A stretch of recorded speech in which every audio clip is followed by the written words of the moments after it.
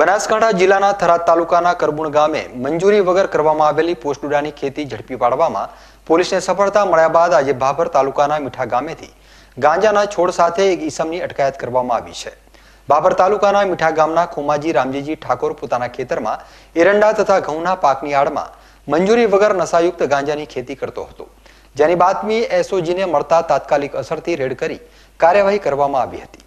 પોલીસે ખેતરમાંથી બે લાખ નેવું હજાર રૂપિયાની કિંમતના ઓગણત્રીસ કિલો વજન ધરાવતા આઠસો અડતાલીસ ગાંજાના છોડ ઝડપી પાડ્યા છે.